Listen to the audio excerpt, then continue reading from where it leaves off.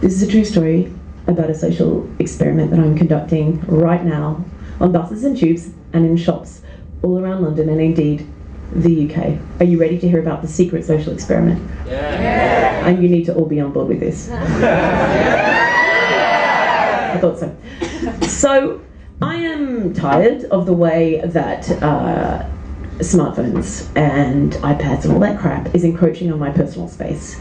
And sometimes also, uh, my personal conversations are encroaching, encroaching on other people's space. So you'd be on like the bus or in a shop or wherever on the tube, and people are sort of making personal phone calls, and you overhear things like, yeah, and you're like, oh god, it's so gross. Like you have to overhear everyone's life now. It's part of your life. You're like, welcome, this is it. No, it's not.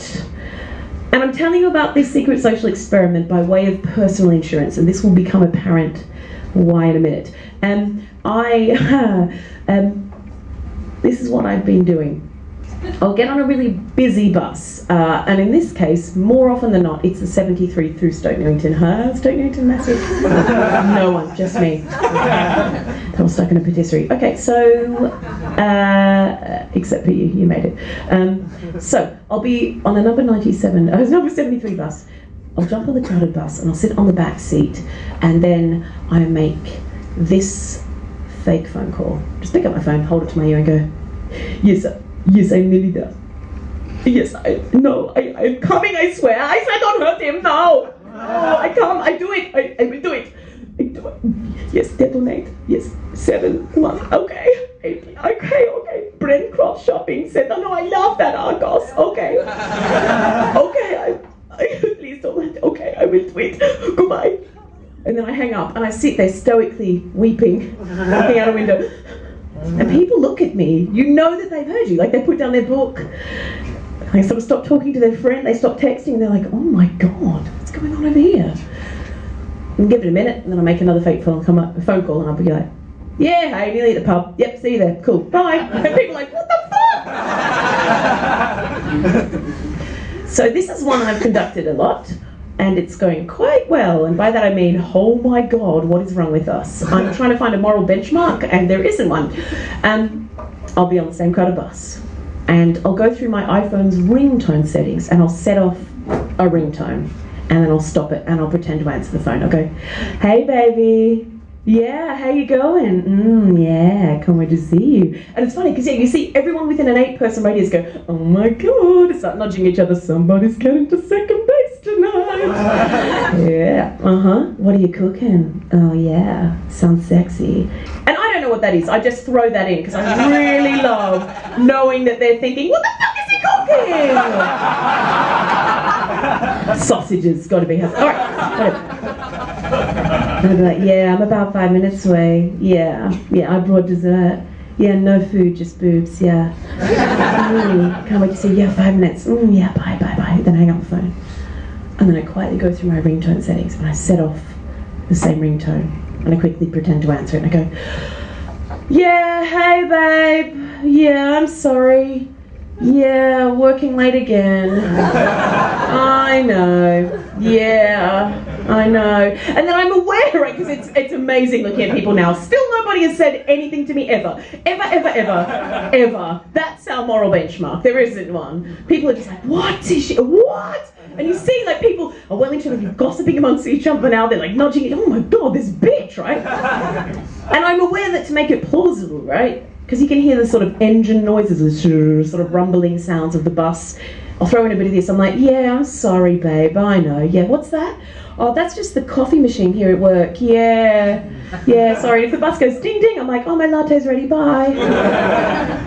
and I've started answering that call like this, just to make sure if there's anyone on that bus I haven't got, I get them on this line. Yeah, sorry, babe. Okay.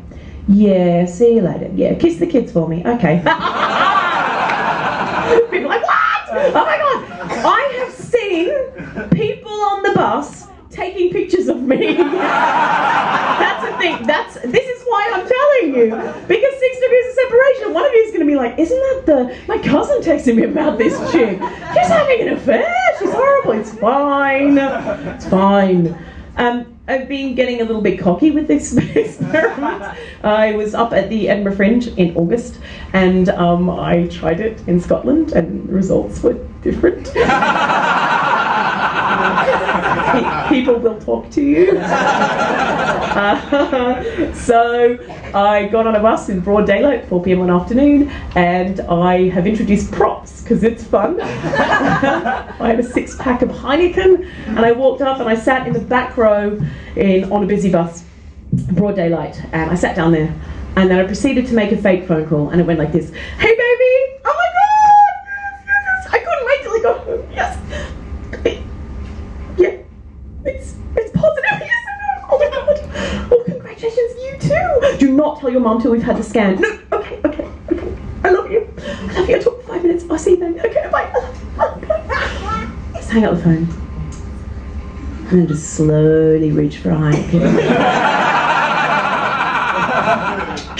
and start drinking.